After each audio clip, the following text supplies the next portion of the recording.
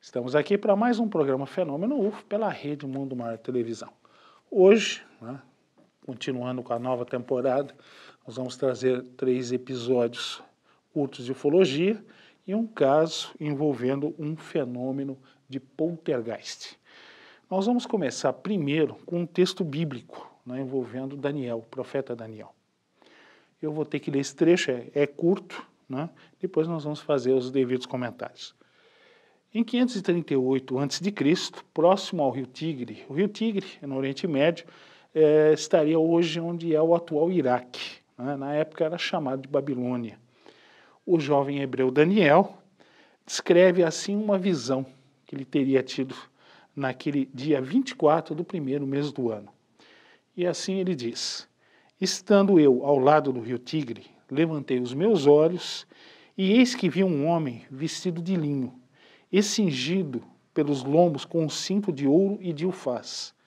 Também seu corpo era como berilo, e seu rosto de aparência de relâmpago, e os seus olhos como reflexos de fogo, os seus braços e os seus pés de cor semelhante a cobre polido, e o som de suas palavras como o som de uma multidão.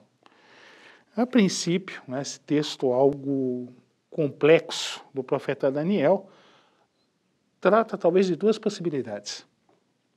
Ou ele deve ter visto um astronauta no deserto, sob a luz do deserto. Aí, ah, normalmente, né, os trajes de astronautas são na cor clara, na maioria dos casos, branco né, ou metalizado.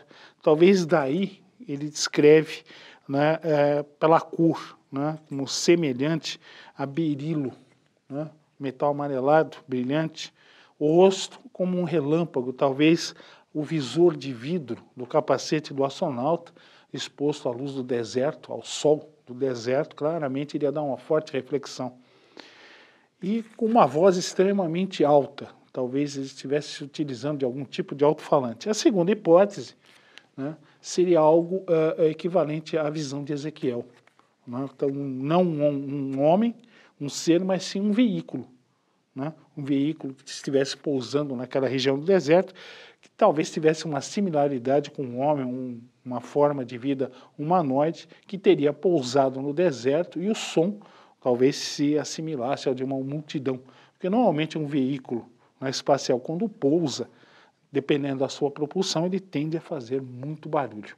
Então, como nós vemos, é, é, é difícil para uma pessoa daquela época explicar uma visão tecnológica. Ele não tinha parâmetros para isso, ele não tinha. Normalmente, nós, nós, no nosso dia a dia, nós costumamos fazer comparativos né, para explicar determinadas situações. Quando nós não conhecemos é, algo, nós tendemos a compará-la com algo conhecido. Né? Por exemplo, discos voadores né, são veículos é, de forma redonda. Nós comparamos aqui na, no Brasil a discos. Já nos Estados Unidos, na Europa não, são os pires voadores, né? surcupo volante em francês, ou flying saucer em inglês, que significa pires voador. Se nós pegarmos um pires ou um, um prato e invertermos a sua posição, né? deixando a parte inferior para cima, ela vai dar a nítida impressão de um objeto discoide. Então, sempre por comparação ou analogia, nós vamos procurar algo né, do nosso conhecimento para podermos fazer um relato ou a descrição de algo que vimos. E como o nosso amigo aqui o Daniel não tinha nenhum comparativo, né, ele colocou dessa forma algo complexo, né, comparando com metais, comparando com um, a, a, voz muito alta dele como multidão, que era o que ele tinha naquela época para descrever algo tecnológico. Como nós vimos mais uma vez, né, na nossa Bíblia está repleto de casos envolvendo a presença de veículos extraterrestres ou mesmo eh, de seres, né, ou no interior ou fora do veículo espacial mais um caso que entra aqui para a nossa coletânea uh, do passado da humanidade, no caso, no livro sagrado aqui do Ocidente, que é a Bíblia.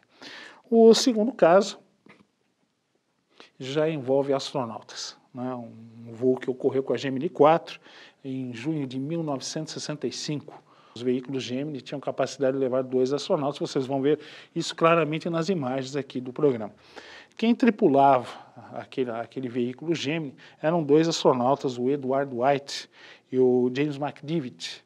Eles estavam uh, incumbidos de uma missão importantíssima. O Edward White deveria deixar a segurança do seu veículo espacial e sair para espaço aberto, né, preso por um cordão umbilical. Os astronautas não ficam soltos no espaço.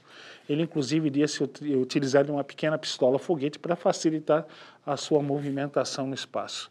Uh, o Edward White né, repetiria o, o, feito uh, anteriormente realizado por um cosmonauta russo, o Alexei Leonov, que foi o primeiro ser humano né, a sair, a flutuar no espaço aberto. Detalhe, né, que nesse voo histórico da NASA, eles também viram um objeto voador não identificado no espaço relativamente próximo da, do seu veículo Gemini. O primeiro a observá-lo foi o James McDivitt.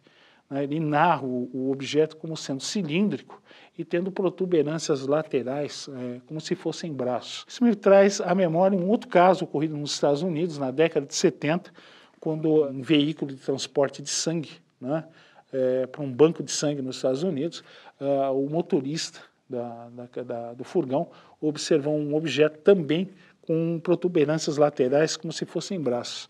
Nesse caso, a nave ainda tentou, se utilizando desses braços, capturar a, a, a, o furgão que transportava sangue, né, no caso, mas o, o, o, motorista acabou conseguindo se evadir daquele estranho objeto. Curiosamente, né, anos antes, dois astronautas, o James McDivitt e o Edward White, observaram um objeto análogo a esse visto anos depois nos Estados Unidos.